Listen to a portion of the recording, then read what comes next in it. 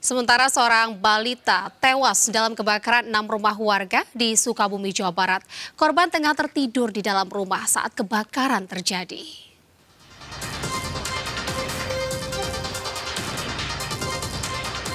Kobaran api menghanguskan enam rumah semi permanen di Kampung Bojong Lopang, Desa Panumbangan, Jampang Tengah, Sukabumi, Jawa Barat.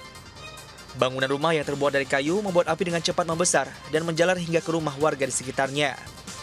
Tiga unit mobil damkar dikerahkan untuk memadamkan api. Naas, Siva, balita tiga setengah tahun, tewas akibat kebakaran tersebut. Korban sedang tertidur di dalam rumahnya yang terbakar. Jasad korban ditemukan petugas pemadam kebakaran di bawah puing-puing bangunan. Jenazah korban langsung dimakamkan di tempat pemakaman umum Kampung Gunung Gedogan, Panumbangan, Sukabumi.